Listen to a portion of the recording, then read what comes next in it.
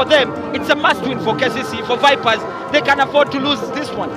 The last time these two engaged in uh, a game, it was at the St. Mary Stadium in Kitende.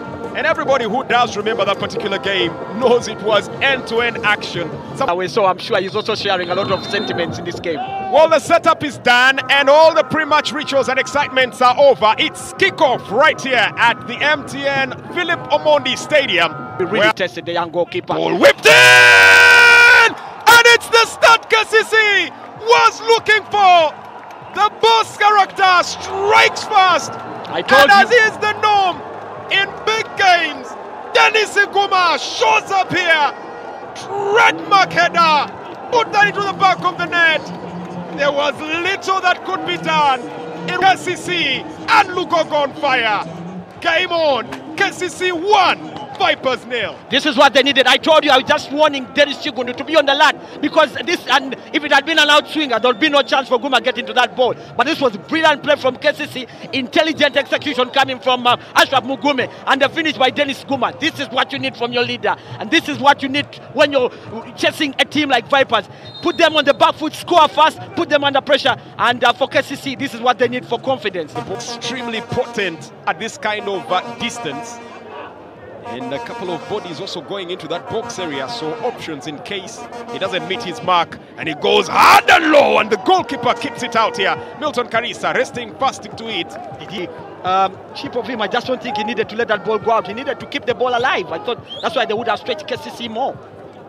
Looking to carve out space gets into the box area feeds it to Milton Karisa crosses in and the goalkeeper benjamin ochan right place right time right decision. How they struggle to pass and move the ball, something that used to be synonymous with them. I don't know if it's because it's something that they've not been doing. Possession. Happy Anaku feeding it back. Rogers Mato back on his feet, tries to cross the ball. Not the goal intended target. To Majwega. Crossing again. This time, Halid Luwadi, the captain for Vipers, averts the danger. Threat still imminent. Setting it on. Nice touch. Looking for the one-two, floating it in. And Brian Ahebwa going for the spectacular. That would have been a goal for the edges. That would have been the highlight reel. Ooh la la. Yeah, that's the one opportunity that you're praying can hit the back of the net because you just want to reminisce on it. But that was brilliant technique from Brian Ahebwa. And how unfortunate that it didn't hit the back of the net, even for any neutral. From uh, his opposite number, shot three. And now to the Emperor, Manzoki. Setting it in for Yiga. Bobosi teases and sends it to the wing. The fans were already cheering. Ball crossed in! Goalkeeper! Benjamin Ochan links in that goalkeeping area. But today, the day... Incidentally, he's had more balls to pick in his area than Chigundu has since he conceded. Here comes Disan Galiwango looking to throw out another one at him and test him. And the hitman, Yunus Junior Sentamu, is in the spell. Crosses the body, looking for Caesar! The Emperor! Caesar Manzoki! I saw that coming. Try as they can. In that central defense, what's pathetic? Just look at that marking. How can the man with just get that kind of free header when there's Peter Magambo, when there is off, they should have pressed there. You can see the that. Cross, Peter Magambo should have locked down better. There's hardly much. Benjamin Ochan could be coming close to him. How about Achai now? Tries to whip in across. Miscued clearance. Sadat Anaku! My and word. he flops it. The player literally you'd want in that position. The chance you literally would want him to have. The finish you dread him to put together. My word, I can't believe that he just missed that. And um, this is why you, you feel for the coaches there because what do you want the coach to do in this kind of incident where a player has got a very good opportunity and he decides to fluff the lines? KCC are going to rule this one, I can tell you, but that defending by uh, Livingston Mulondo, he wins the ball. That was many as a chance comes up in here and into the box area. Player goes down. And referee says Vipers have got to watch out the way they are defending because letting uh, Mato run in behind that, that they can um, find themselves in a bit of spot of bother. You look at that, that could easily be a penalty. I don't see why that is not a penalty because you look at that pressure that is coming in from uh, Siraji.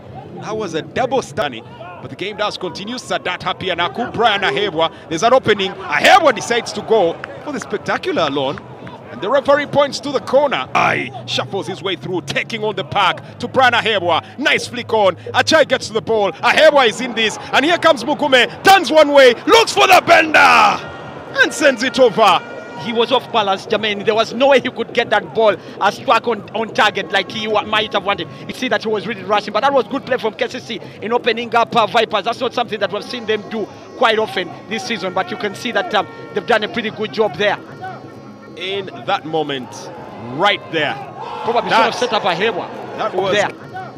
in that moment, right there. Probably should have set up Ahebwa. That was KCC personified. That was spread out onto the wing. Here comes Hassan Jarua. Looks like he wants to pull the trigger from distance.